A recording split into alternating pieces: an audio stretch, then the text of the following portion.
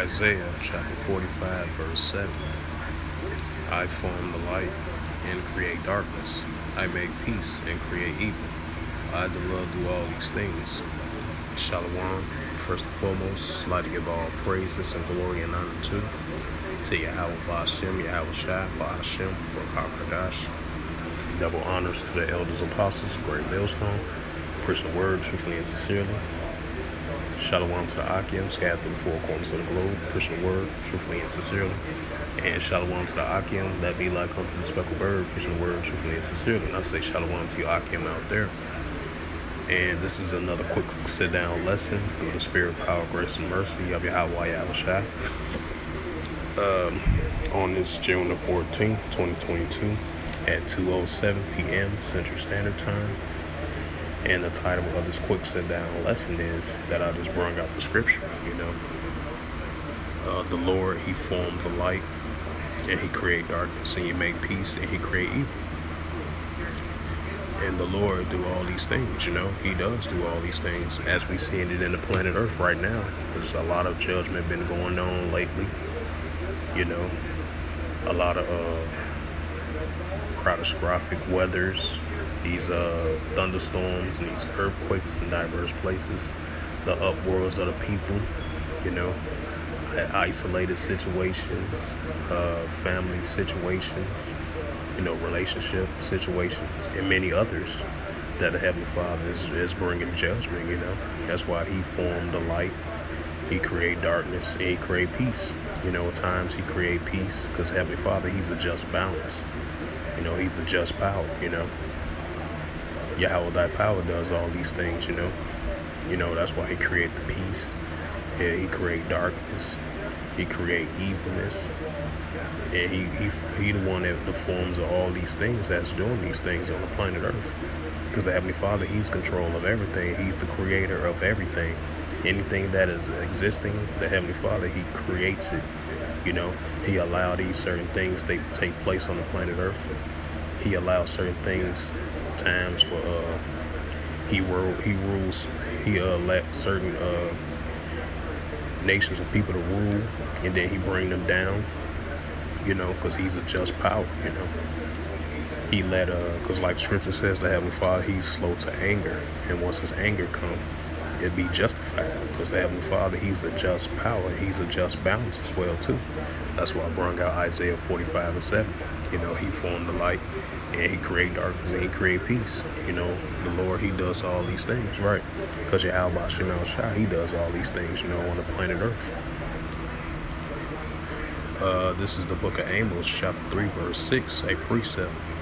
Shall a trumpet be blown in the city, and the people be not afraid?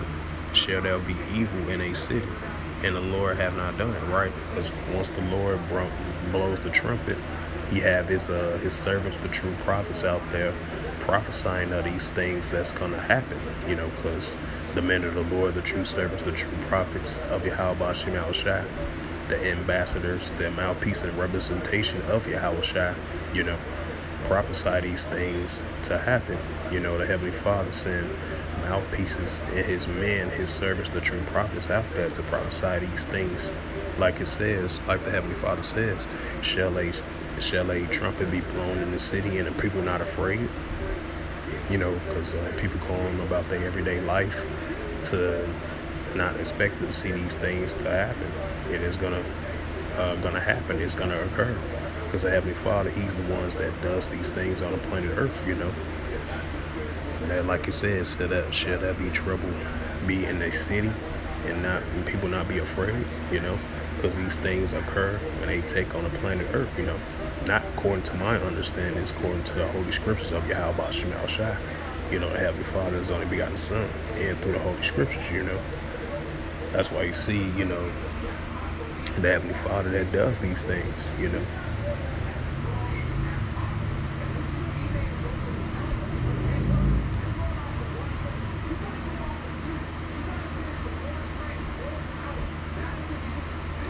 And this is another precept, but then I'm gonna close this little quick sit down lesson for today. This is the book of Psalms, chapter 75, verse 7. And verse 7 in the book of Psalms and through the Holy Scriptures, and it reads, But Yahweh is the judge. He put it down. He put it down one and set up another right. Because the Heavenly Father, He judges that people that's the rulers of this earth. Just like Job 9 24, the earth is given into the hands of the wicked, right? Because the Heavenly Father put the uh, the wicked in, in rulership. Because that's why this uh, devil should come down with great wrath because he know he had but a short time, you know, because the Heavenly Father, he set up men, he set up rulers, you know, he set up righteous rulers, he set up wicked rulers because Heavenly Father's a just balance. He take down those evil wicked rulers and he set up another one. Because Salakia. Yeah, because the Heavenly Father, he does these things, you know, because the Heavenly Father, he's the judge of the planet Earth. He judges the righteous. He judges the wicked. You know, because the Heavenly Father, He's a just balance. You know, of Yahweh Shem Shai. You know, He the one that does these things. You know.